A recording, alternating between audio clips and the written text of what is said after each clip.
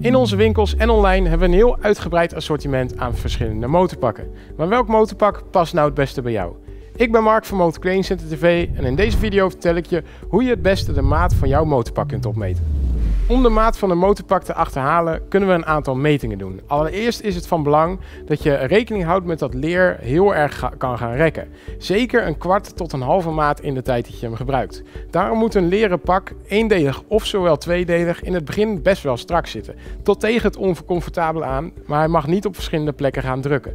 Dus let erop dat een leren pak of een leren broek of jas bij jou lekker aansluit en dat hij nog een, beetje kan rekken voordat hij te los gaat zitten.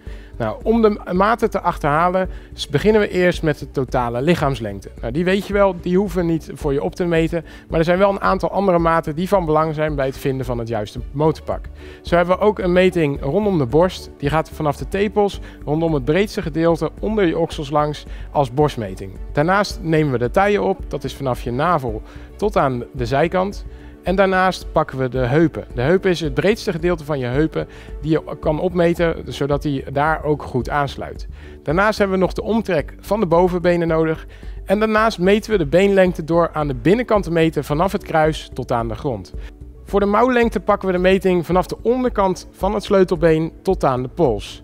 Op die manier weet je ook zeker dat de mouwlengte van je pak goed is. En hou er wel rekening mee dat je vaak sportievere leren en langere handschoenen over je mouw heen doet. Dus dat je het bandje waar normaal gesproken je horloge zit vrij moet houden om, het, om je handschoenen aan te kunnen trekken.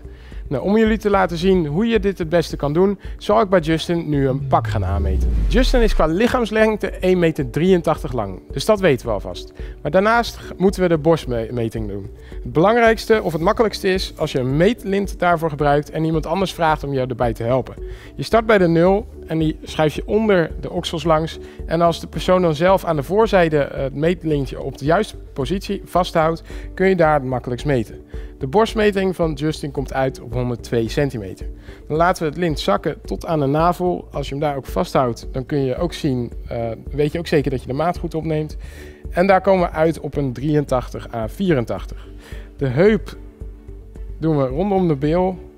En die komen uit op een 95 à 96. En daarna pakken we hem door naar de bovenbeenomtrek. Die we op het breedste gedeelte meten. En die komt uit op een 59 centimeter. Voor de bovenbeenlengte houden we het meetlint vast vlak onder het kruis. En die laten we doorlopen tot onderaan. En die maken, laten we een hoek maken tot aan de enkel of tot aan de grond. Net wat de maattabel vraagt voor meting. Dan hebben we alleen nog de uh, mouwlengte nodig. En die starten we onder het sleutelbeen. Die laten we tot aan de elleboog lopen en dan houden we hem vast en dan draaien we hem en dan laten we hem zo doorgaan tot aan de pols. En dat is in dit geval 66 centimeter. Nu hebben we alle maten om Justin het juiste motorpak te laten aantrekken. En bij Revit zou dat een maat 48 zijn. Justin gaat nu een pak aantrekken, zodat ik jullie ook nog kan laten zien waar je daarna op kan letten. Om erachter te komen of het pak goed bij jou zit. Houd er rekening mee dat een motorpak is gemaakt om te dragen op de motor. Dus ook in een zittende houding heeft hij daarmee de optimale pasvorm. Zeker in het begin, als het leer nog vrij strak is en nog niet is uitgerekt, zal je merken dat als je staat, dat je een beetje naar voren wordt geduwd als je de juiste maak pak hebt. Als Justin het stuur wil vastpakken, dan zul je zien dat er aan de achterzijde allerlei eh, stretchmaterialen of accordeon stretchpanels, zoals we het noemen, zitten, die je de bewegingsvrijheid geven om op de motor van links naar rechts te kunnen bewegen. Wat belangrijk is, is dat het langs de rug helemaal strak zit en dat het daar geen wind kan vangen en maximaal aerodynamisch is. Ook is de mouwlengte goed en als je het stuur vastpakt, dan kun je zien dat Justin rondom zijn pols nog een handschoen zou kunnen strak trekken en de handschoenen zouden tot ongeveer hier komen. Nou, ook de schouderpartij is belangrijk dat die helemaal vast zit, dus voel even of die protector blijft zitten onder andere omstandigheden. En ook de elleboog is belangrijk dat die niet rondom het gewricht verschuift. Daarnaast hebben we nog de knieprotector die doorloopt tot onderaan de scheen. En het is belangrijk dat hij zo'n 5 à 6 centimeter over de kniekap heen valt, zodat hij altijd daar de maximale bescherming heeft. In veel gevallen is de knieprotector te verstellen omdat sommige mensen wat langere benen hebben. En dan kun je de protector wat hoger of wat lager zetten. Nou, het lijkt alsof Justin hier hoog water heeft, maar dat is bij een uh, racepak is dat uh, nodig. Omdat je hier een groot gedeelte van je motorluis krijgt die tot echt ver boven over het pak heen komt.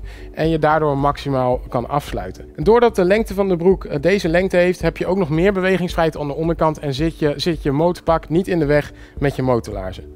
Nou, voor Justin lijkt het alsof we de beste maat hebben gevonden. Maar kom je er nou niet helemaal uit in een matenbel, pak dan ergens een maatje groter als je het idee hebt dat je ergens op de verkeerde maten zit. Je kan hem e- beter één maatje groter pakken dan één maatje kleiner, want daar kom je 9 van de 10 keer niet in.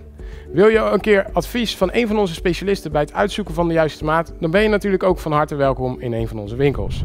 Onder in de omschrijving van deze video vind je een link naar de maattabellen van de motorpakken, zodat je voor jezelf ook kan gaan opmeten wat voor jou het beste maat motorpak is. Ik ben Mark van Motor Center TV. Bedankt voor het kijken.